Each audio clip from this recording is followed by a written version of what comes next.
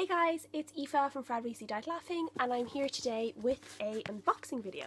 So this is my second unboxing video. Um, I went online the other night and I bought loads of books. Um, so these are all from a Irish second-hand bookstore online. All the books are only two euro. Um, if you get 10, delivery is free, so that is great. Um, so I bought a load of books. So I can't wait to show you what I got.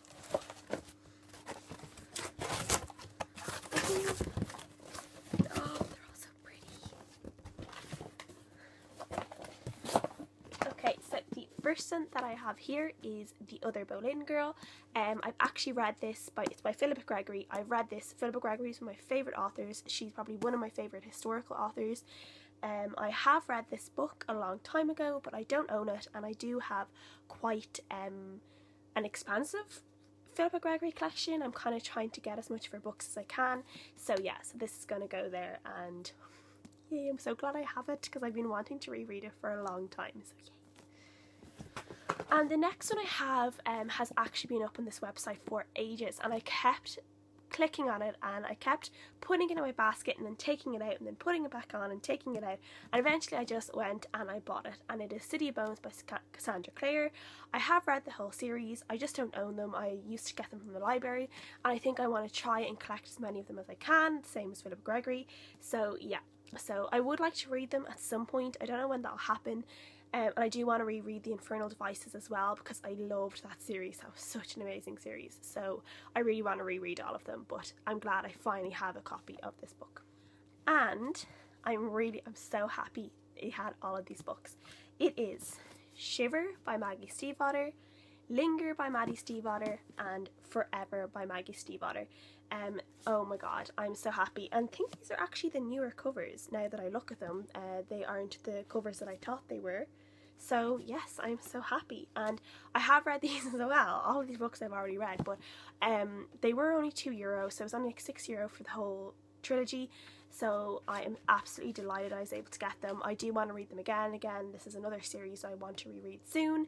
Um, so now I have the whole thing, all the covers match. Um, and I'm hoping, I only found out recently from another booktube video that there's going to be a fourth book in this series so it's already out so I'm going to have to try and get that as soon as possible so yes I'm really happy to get this. And the next two books I have are Lirael by Garth Nix and The Creature in the Case by Garth Nix, which is only a little novella, it's very short.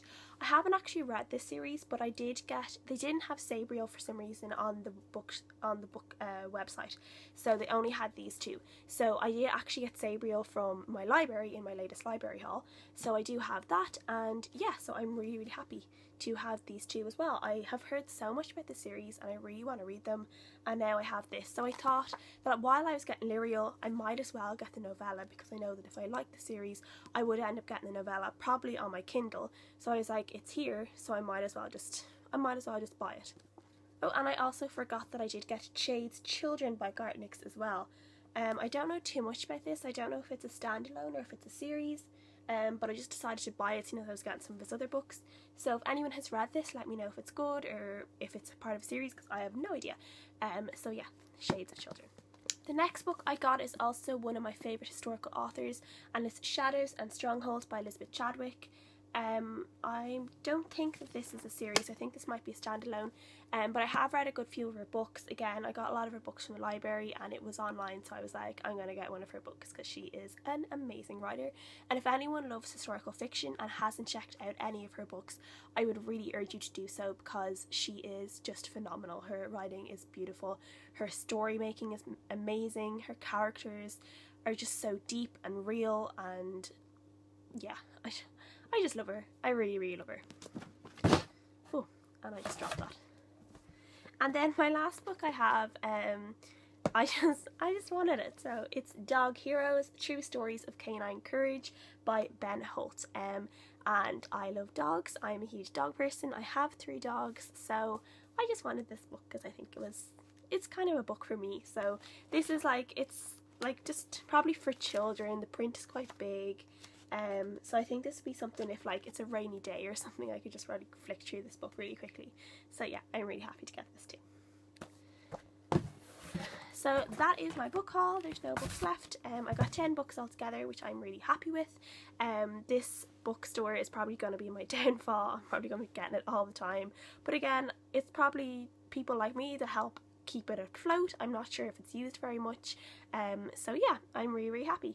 And you, I hope you guys like this video. Um, let me know if you've read any of these books, the ones that I haven't read, what you think.